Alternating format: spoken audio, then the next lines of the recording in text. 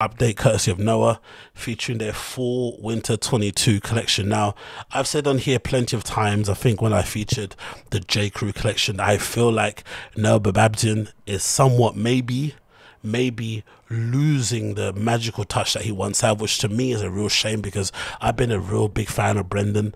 Um, I feel like um, his work that he did, especially early on in Supreme when he wasn't that well known, when he was kind of doing it behind the scenes, I feel like was some of his best work ever. Um, I still remember this anorak that I kept mentioning before and in previous shows that I had from Supreme that was maybe done in 2005, 2006. It was kind of like a fisherman's anorak that was made in kind of a wax um, wax kind of finish, similar to like a Barbour, and it had these um, horizontal blue and white stripes. I think there was another one that had like green and navy blue, but I had the blue and white stripe one that I that obviously sold like an idiot. And there was another jacket too that I had that was a fisherman's anorak that was like grey and red that I remember Aaron Bondaroff modeling that I'm pretty sure Noah was responsible for designing too. So that Brendon Babenzien was responsible for designing the um, creative director behind Noah, and obviously the former design director over there at Supreme. And obviously then he went to go, you know, restart his brand Noah and kind of put that back into prominence. But the early seasons are kind of so the, the tail end of Supreme Supreme around the time that he was working in, and the beginning of No was really, I think, some of his key um, creative times. I feel like he did some of his best work there. But obviously, over time, as Noah's gained in popularity and output, and probably investments come in, and you just need to sell and shift more units, do more product offerings, it felt like his creativity's kind of been spread too thin. And now the fact that he's taken over J. Crew, it feels like for sure he hasn't really got that much more to offer in terms of his um, POV when it comes to design and when it comes to style and whatnot. I felt like J. Crew is essentially like a budget version of Noah, and I feel like Noah's now suffering because of the job now he's got a J. Crew, which is pretty big in terms of reviving such a big brand. And now having looked at this fall winter 22 collection is probably more of the same. Um, a lot of the stuff can be intertwined with the stuff that I featured before of J. Crew and his first collection. There's not many really interesting pieces here. You've got this kind of velvet, um, you know, um, sleeveless. No, you've got this velvet vest with a nice piece of embroidery here, which is quite a nice detail, but again, not interested in the slightest. Um, You've got this kind of chino look with the pinstripe shirt again, classic um, Noah. I love this kind of western um, what do you call it pattern cutting here. I forgot what these things are called here on the shoulders but it's kind of a western cut with these triangles here. This bucket hat's really nice actually that this model's wearing. Um, corduroy double-breasted jacket with sweatpants with a sweatsuit. I'm not into that look at all. Zero. Um, there's a pretty decent look here that looks pretty nice with a striped cardigan.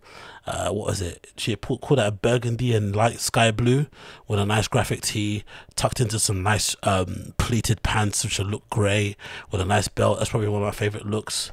This look again is absolutely terrible. So is the styling. This kid looks like he's wearing his granddad's jacket. It's like an oversized, padded, or somewhat very thick blazer in a tweed that kind of has interesting interesting pockets actually. It's actually got the side pockets um, you know that you would associate with a parka or whatnot. Um, and then it's got this really big kind of front pockets as well.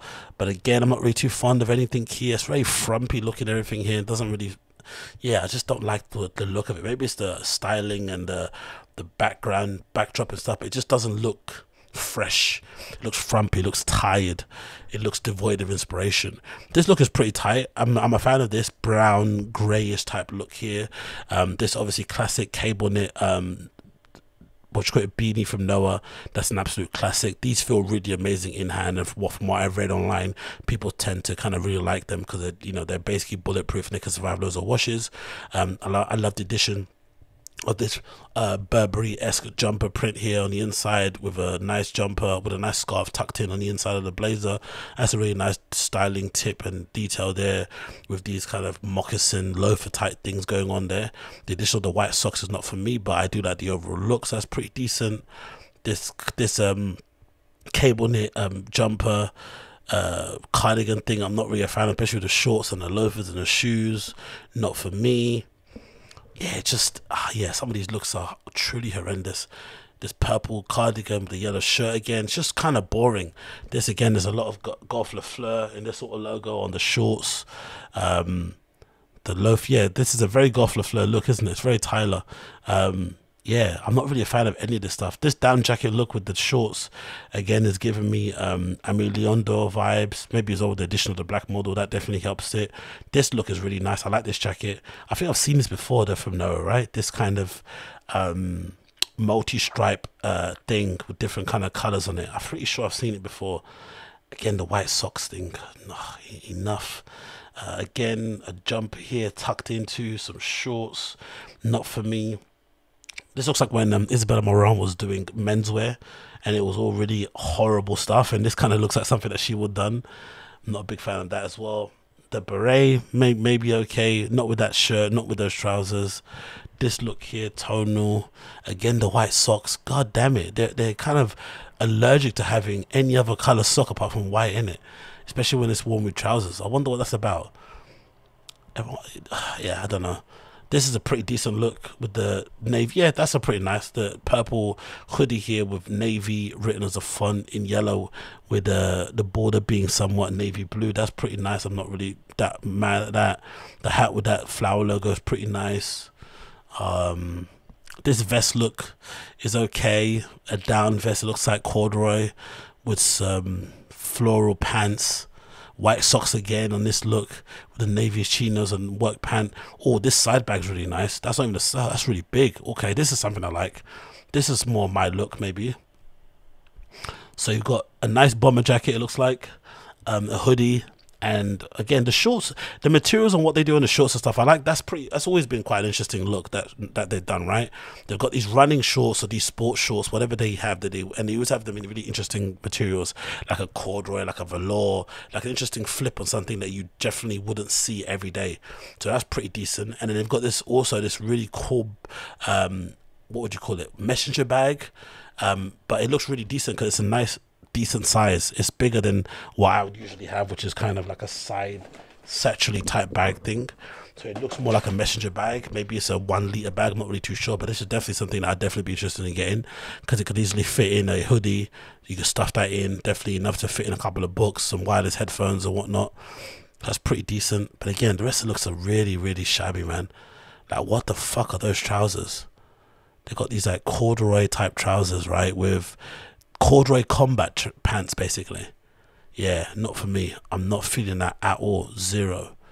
Um, again, the yeah, this is horrible. Some the suit's nice. This is really decent. There's a double-breasted suit that's got a really wide leg as well. That look really cool. Sans shoes. I'll swap the shoes out. No white socks or whatnot. Just get some classic um, loafers or some derbies, and then get some black socks as well, just to kind of break it up a little bit. Um, there's a nice camoist type jacket there with orange pants. Decent again. I've seen that kind of color combo and that styling touchdown a million times. So maybe not a big fan of that. Chinos. This is a good look actually. The polo with some red with corduroy shorts with the white socks and the blue vans. Not mad at that at all. It might be one of my favorites. Pardon me.